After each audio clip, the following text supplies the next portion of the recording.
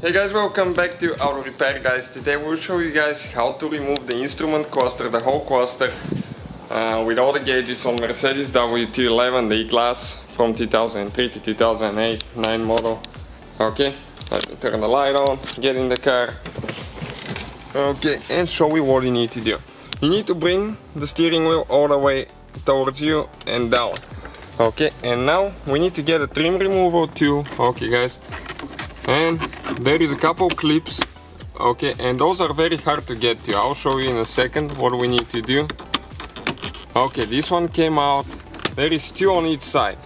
Two on this two on the other. Okay so it's important to get those. And careful not to break the button there. Don't put too much pressure. Okay and it needs to come this way when you pry Okay, perfect. We pulled it out. Okay, let me show you the clips now.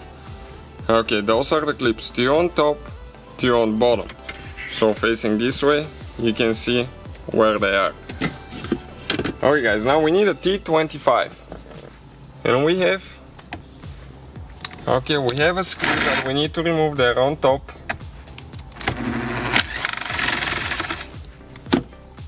Another one on top. So two on top guys and two in the corners. Okay, right there. And we'll need to get an extension for those.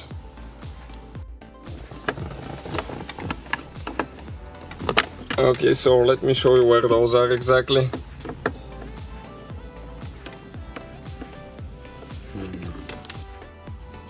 Alright guys, and always make sure before you unhook the wires and everything else, Make sure that the battery is disconnected at least 30 to uh, 30 minutes to 60 minutes before the repair. Every time you remove some kind of module on that thing, so you make sure you don't burn it. And uh, we'll just get the two for the bottom ones now, because we need to find one that's long enough. Oh yes, so we're removing the screw now. They will not come out all the way, they stay in the cluster. So we have to do is just get them loose okay it's loose on this side and now we have the other one on the bottom. Okay you will see where exactly it is in a minute.